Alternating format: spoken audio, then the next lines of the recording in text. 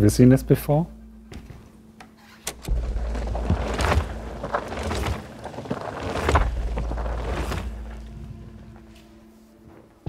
Hey, I'm Moritz. I'm a team leader in the mountain bike engineering team at Canyon. KISS actually is a mechanical device which helps to stabilize the steering of any uh, bike. It's not like a little bit of support, it's really, it helps you a lot. So KISS is basically a device that is like a steering assist.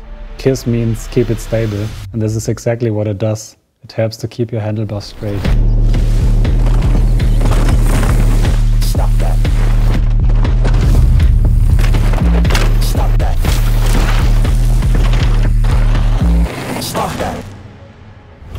Steering behavior of bicycle has been the same for a hundred years, but no one really asked the question, is this um, the best steering behavior you can get? You know, there has been many big steps in bicycles, especially for uh, mountain bikes, rigid bike to suspended bike. The introduction of the disc brake or um, the dropper post. And I think it's really this kind of step forward. If you think about it on paper, it's you think it's way too simple. Is not going to make a, a, huge difference or anything. I mean, it's no rocket science. It's just three key components. It's made from a cam ring, which is attached uh, to a couple of springs. And the springs are um, creating a self-aligning torque. If you do it in a very smart way, then you reach a very specific torque curve. And it changes the behavior of the bike uh, we have never seen before. KISS basically was invented by Jo Klieber, you know, from Syntace yeah, he came to us and showed us the thing. First we were thinking like, oh, what is this? And sometimes when you tinker, you, you find things that you didn't plan. And I can say no, nobody asked for this. And also myself, I didn't ask for that. I was like, okay, this is maybe a little bit crazy and I don't know, with springs and the band. And yeah, actually, I don't want to have anyone playing around with my steering, you know. So we swapped bikes. I took his, uh, he took mine, and, and during the first meters already, I was like, okay, there's something very different happening. Then I overtalked him, so I can take the first test system with me, and pretty soon we were convinced about that this is something special. We had a feeling we need to dive into this new technology. It's a partnership. It's a collaboration with Syntace for sure but we had the chance to really adapt and improve the system according to our needs. So we have been optimizing the shape of the cam ring, we have been playing around with multiple materials and lengths of the band, we have been adjusting a lot of springs, and we have been working uh, with our athletes uh, very early in the process.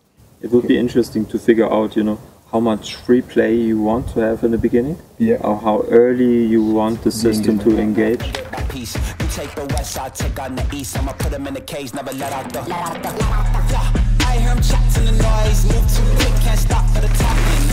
I hear him chat with the boys, not so tough, keep rapping. Yeah. The engagement is very interesting because that's that's the first thing that you can feel that restabilizing the bike in straight line. It feels like it's providing you like uh, another sense. You obviously have the feeling of the pedal, the feeling in the bar of the impact in the ground, but that small pressure is actually helping you to hold, especially on long corner uh, stability in your steering.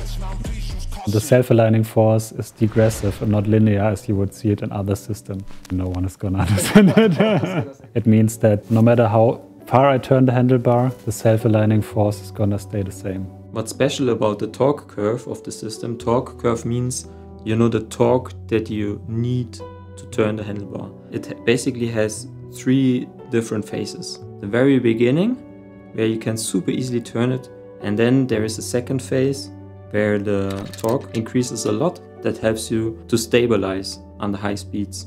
And then there is a third phase in the curve where the, the force doesn't increase a lot that helps you to go into tight turns and make tricks and so on. Tight turns we had before, it's no problem to ride tight turns. If the bikes are getting longer and longer, then you also increase wheel flop. And this is where the KISS system comes into play. Of course, you need wheel flop. It gives you a certain feedback from the ground, but in situations where there is no grip, then there is also no signal from the handlebar. And in this situation, the system gives you always a constant signal, like a feedback that wants to go back straight. It reduces the effect of the wheel flop on the bike, even increases the stability of already a slack geometry.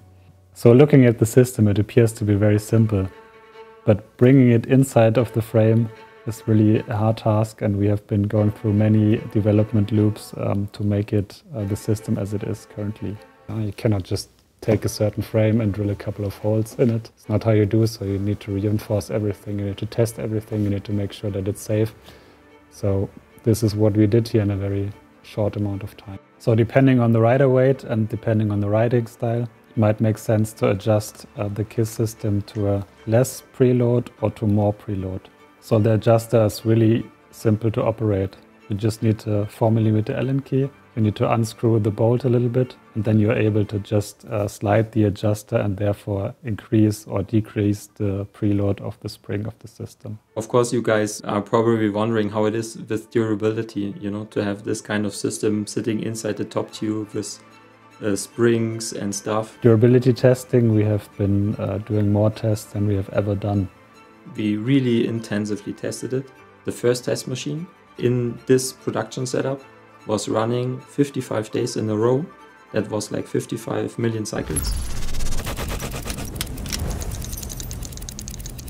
And I would say there is no other bike component on a bicycle that lasts as long. It's 100% maintenance free. It's located inside of the frame, so it's uh, protected from all the impacts from the environment. Therefore, it's gonna live as long as the frame and even longer.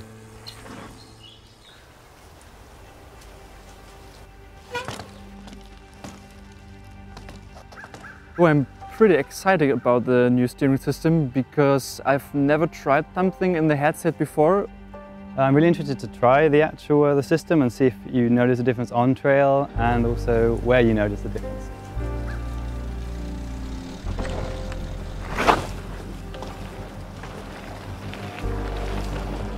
You could feel the stability over rough and off-camber terrain.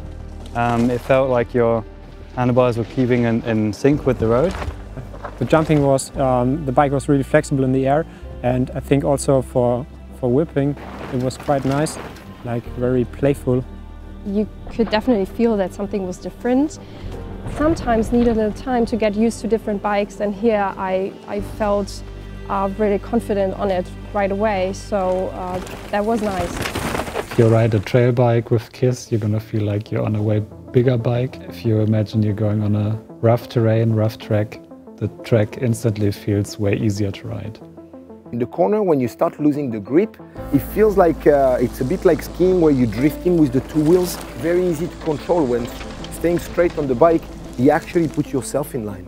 It connects the front and the rear in a way that was not there before. As soon as you turn the handlebar and you have a spring force and the bike is in the air or completely loose, the bike goes also into the turn. So you create, a, like let's say, a rotating force towards the rear wheel that helps the bike to be balanced on its drifting attitude. So the front wheel goes and then applying the extra force is helping the chassis to continue turning. Even if you didn't want to drift, but you're already at the limit, you know, your front wheel starts to drift and you're like, with the system, you're like, okay, let's go into the drift and then you have this connection between front and rear.